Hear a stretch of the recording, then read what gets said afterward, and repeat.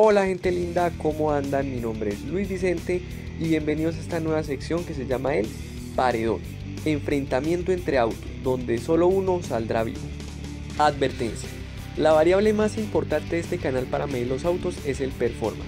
También miraremos el consumo de combustible, la confiabilidad y lo barato o no que sea de mantener. También el espacio de maletero. No tenemos en cuenta ni conectividad, ni acabados, ni espacio de las sillas ni el cariño que le tengas a tu auto, tampoco lujos que llegue a tener.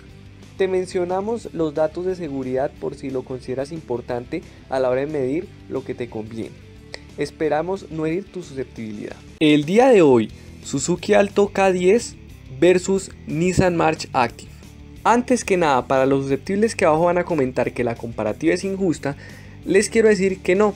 ¿Por qué? Porque solamente entre estos dos carros hay 2 millones de pesos de diferencia.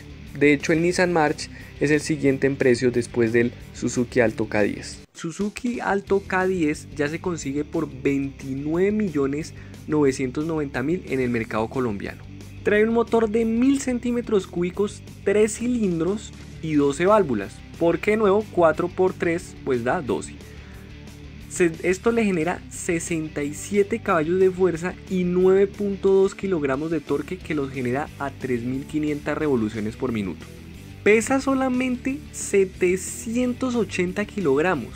Únicamente viene con caja de 5 velocidades manual y la suspensión viene adelante independiente con resorte y atrás con eje rígido semi-independiente. No es que marque mucha diferencia. Hablando de los frenos, viene con frenos ABS adelante de disco y atrás de tambor. En cuanto a seguridad tiene dos airbags y marca 0 estrellas en el Latin NCAP, sin embargo está desactualizado también. Finalmente este auto viene con rin de 13 pulgadas. Cabe destacar que en las versiones de lujo de este carro ya viene también con frenos EBD, o sea vendría frenos ABS y EBD, pero en su precio de entrada solo viene con ABS.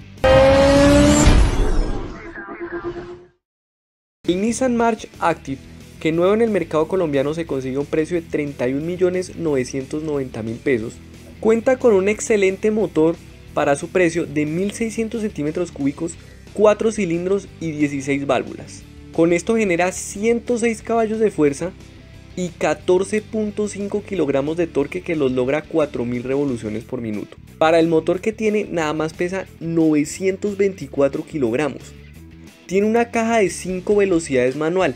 Si lo quieren automático ya tienen que comprar la versión nueva del March que vale 42 millones de pesos aproximadamente.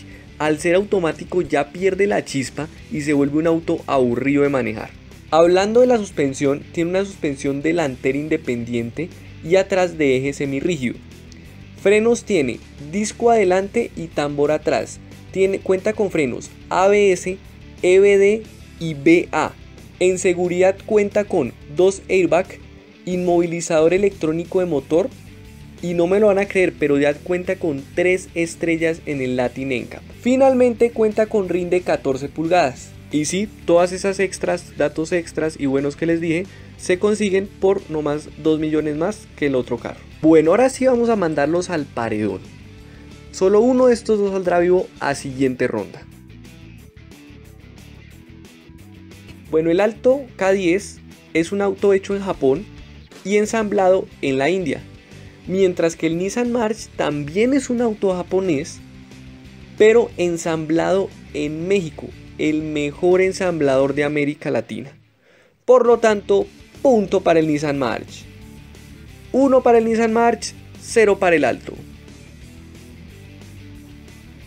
El Alto K10 solamente cuenta con un motor de 1000 centímetros cúbicos y 3 cilindros, mientras que obviamente el Nissan March con su motor mucho más grande y de 4 cilindros no le compite en este ítem al alto. Por lo tanto, punto para el alto. En kilómetros, ¿cómo sería?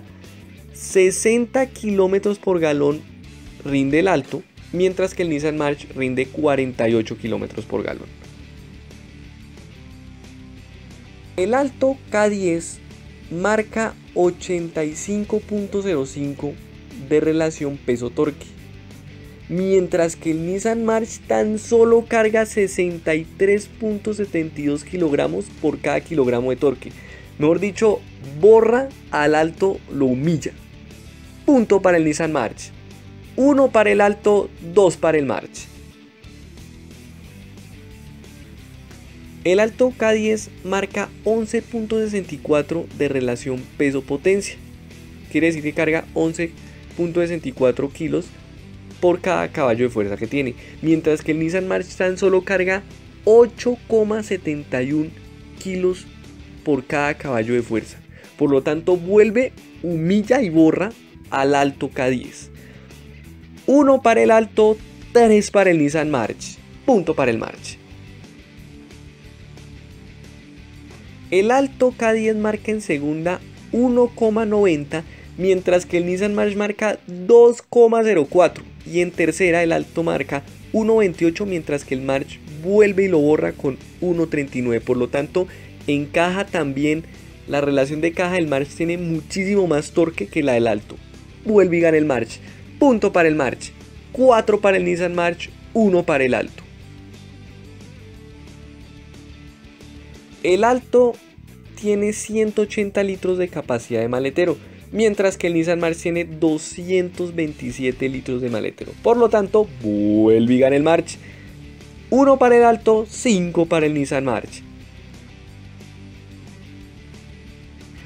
El Alto K10, al ser un auto que, que llegó hace poco y no se han vendido muchas unidades, sus repuestos no son tan fáciles de conseguir por ahora. Con el paso del tiempo se volverán más fáciles de conseguir. Mientras que el Nissan March ya es un auto que ya está establecido en el mercado. Y obviamente es un auto que como sus repuestos llegan de México y tenemos ese tratado tan bonito con los mexicanos que tienen la mano de obra tan barata, no es nuestra culpa. Gana el Nissan March otra vez. Uno para el alto, 6 para el Nissan March. Siguiente punto. El Alto es un auto que todavía no tiene mucha reventa, mucha salida. Con el paso del tiempo irá mejorando y más como descontinuaron el Spark, eso tiende a mejorar con el paso del tiempo. Sin embargo, el Alto ni siquiera sale en el top 20 de autos más vendidos en Colombia. Por lo tanto, no es un auto tan comercial, mientras que el Nissan March es el décimo vehículo más vendido en Colombia. Por lo tanto, punto para el Nissan March, 7 Nissan March, 1 el Alto. Ustedes dirán, uy, no, pero qué comparación tan injusta. Pero no, señores, porque el precio es solamente 2 millones de diferencia. O sea que ustedes por 2 millones de diferencia se pueden conseguir un auto 7 a un veces mejor que el otro. Hay que saber comprar, señores, hay que saber comprar. La otra enseñanza que nos queda de esta experiencia es que nunca te metas con un Nissan. No mentiras. El próximo enfrentamiento quedaría de la siguiente manera: Nissan March versus Chevrolet Spark GT, el hermanito mayor del Spark. Comenten aquí abajo qué les pareció, no olviden dejar su like. Nos vemos hasta la próxima sección del paredón. Chao.